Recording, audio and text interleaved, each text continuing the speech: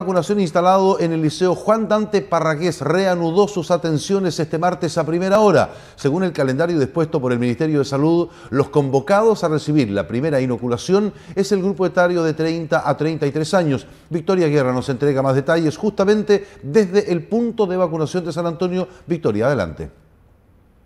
Se hace pertinente recordar que el punto de vacunación instalado en el Liceo Juan Dante Parragués volvió a funcionar estuvo suspendido debido a las jornadas eh, de elección para conocer cómo estaba el movimiento y, a quién le toca realmente esta semana, más los rezagados por los días que estuvo cerrado. Estamos eh, con el director de salud del municipio de San Antonio, el doctor José Luis Hernández. ¿Cómo está? Buenos días. Hola, muy buenos días y buenos días a todos los televidentes. Bastante gente se ve a esta hora a las afueras, incluso da la vuelta a la cuadra, eh, la fila de espera para recibir la primera o segunda dosis eh, de vacuna? Mira, principalmente lo que tenemos aquí son personas que buscan sus primeras dosis. Eso nos alegra porque hay un, interés que alguna vez existía alguna aprensión del grupo respecto a este grupo etario. Esta semana le tocan a las personas entre 33 y 30 años, ¿ya? Y que se manifestaba como que no estaban interesados en la vacuna, esto muestra lo contrario. Nuestra preocupación sí obedece a que por efecto del periodo eleccionario este punto de vacunación específicamente no funcionó la semana pasada, entonces también tenemos rezagados de los grupos de 34, 35 años para atrás, que son bienvenidos también.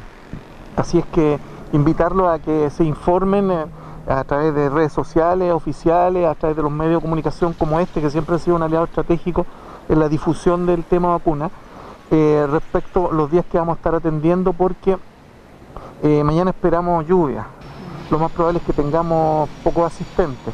El jueves retomamos y el viernes feriado. El viernes no vamos a atender. Entonces, estar atento eh, cómo va esta dinámica de la cantidad de personas que buscan vacunas versus algo súper importante que es el stock que disponemos. ¿Cuánto es más o menos el stock diario que ustedes disponen? Mira, eh, generalmente eh, la vacuna Pfizer, que, es la más complicada, ya por, por su tema logístico, recibimos entre 1.200 a 1.400 dosis semanales. ¿ya? Y nosotros en este punto estamos colocando entre 500 o 600 podríamos llegar dosis diarias. Entonces generalmente se hacen insuficientes porque como bien usted lo decía, no solamente están las personas que buscan primeras dosis, sino que está el refuerzo, la segunda dosis de personas que se vacunaron hace 28 días atrás. Al parecer la gente, la comunidad está prefiriendo Pfizer, pero también tenemos Sinovac acá en la región. Sí, eh, se ha instalado una situación en la comunidad en la cual se ha difundido como que Pfizer actúa como mejor vacuna. Y eso quizás tiene que ver con la difusión que se ha hecho harto en televisión respecto a la inmunidad que logra. ¿ya? Es por eso que el MinSal ya ha salido en tres o cuatro oportunidades el ministro a tratar de eh, demostrar que efectivamente la vacuna Sinovac eh, mantiene buenos estándares de, lograr inmunidad. Es así como el personal de salud fue vacunado casi íntegramente con, con Sinovac. Así es que em, eh, no hemos tenido grandes complicaciones, así que invitar también a la comunidad de que si bien es cierto, este punto en específico, el Liceo Fiscal, eh, inocula con Pfizer y con Sinovac, hay otros centros, como el Cefán de Barranca, justo aquí al frente, Néstor Fernández, diputado en el, de, diputado Busto, que disponen de vacunas Sinovac. Por lo tanto, ellos también ahí podrían pedir primeras o segundas dosis si corresponde. Doctor, en algún momento, eh, y al parecer no hay una bajada oficial, pero se ha hablado de una posible tercera eh, vacunación de Pfizer. Eh, ¿Han recibido alguna información oficial? No, nosotros solo tenemos la misma información que ustedes, que ha circulado de algunos expertos en redes sociales, pero oficialmente no tenemos nada. Eh, lo que sí sabemos es que la inmunidad lograda por ambas vacunas, o hasta la tercera, bueno, nosotros en algún momento tuvimos hasta AstraZeneca, duran entre 6 u 8 meses esa inmunidad.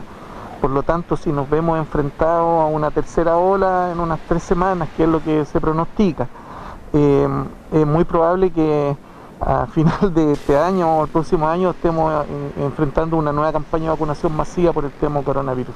De hecho, el gobierno espera, eh, en el segundo semestre ya tener vacunados la población inoculada cerca de 15 millones de, personas. En San Antonio, ¿cómo estamos? ¿Estamos ¿Podemos llegar a esa meta o eh, quizás a fin de año? Mira, no estamos lejos del promedio nacional. Eh, en San Antonio, respecto a la inmunidad ideal, que deberíamos llegar a cerca de los 70.000 personas, estamos en el 52%. ¿ya? Más de 37.000 segundas dosis hemos logrado. No está mal a pesar de estos quiebres de todos que hemos tenido ocasionalmente o estos días que no funcionó el punto de vacunación que es el que más inocula, eh, a pesar de eso estamos bien y lo que nos interesa bastante y nos llama la atención es cómo la comunidad respondió a esto. Si usted se fija son largas filas que hay que estar esperando para poder inocularse. De juventud. Sí, y, mucho joven, tú te das cuenta, mucha, mucha juventud que está aquí, entonces para nosotros eso nos estimula a seguir en esta tarea y, por ende hacer el, refuerzo de que sigan cuidándose. No sabemos cómo van a afectar las, compras del, Día de la Madre o específicamente el Día de la Madre cuando las familias se juntaron, el tema de las elecciones, en el cual seguramente hubo más contacto físico, por eso que se pronostica la posibilidad de una tercera ola, ojalá que eso no ocurra. Ojalá, pero por mientras felicitar a la comunidad de San Antonio por lo que nos comenta eh, el doctor José Luis Hernández, porque la respuesta ha sido positiva. Recordar que esta semana es de las personas que los convocados son el grupo otario de los 30 a 33 años. Muy importante porque al principio siempre se hablaba que el grupo de riesgo era los adultos mayores y sin embargo ahora justamente es este grupo. Así que el llamado es a estar atento a las jornadas de inoculación y también estar atento. Nosotros nos comprometemos como medio de comunicación, hemos hablado con el doctor de avisar eh, si es que con anticipación, si es que quizás una jornada no se cuente con el stock necesario para que usted nos venga y, vea las puertas cerradas del punto de vacunación.